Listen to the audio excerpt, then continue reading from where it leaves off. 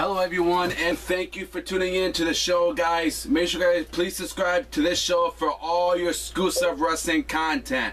Like me on Facebook Wrestling News. I'll put the link in the description for you guys.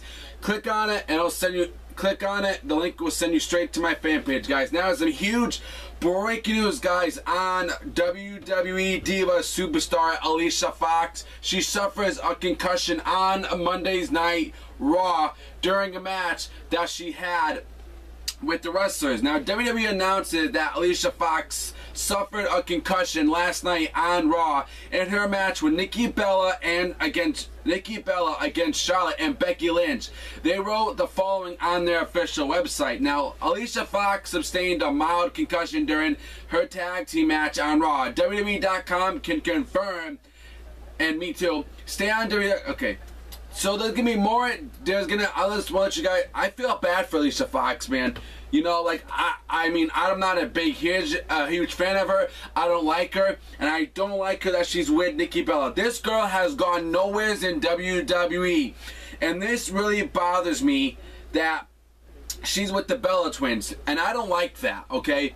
Um, but I do feel bad for her. I still got respect for that girl. I still would love to meet Alicia Fox.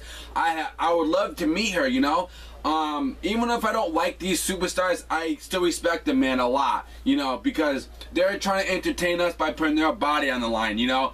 And I respect them, man, but I feel bad, you know, you know, stuff that she suffered concussion because those are bad. Especially, I don't care if you're a diva or you're a diva wrestler um, or you're a male wrestler. When you get concussions, man, it could affect your career sometimes, you know.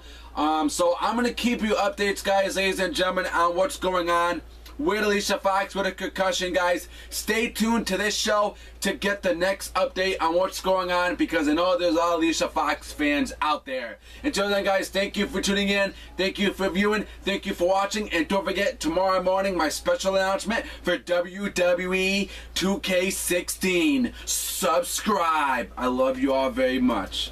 And the article is from ringsidenews.com. The article is in the description for you guys. Enjoy your night.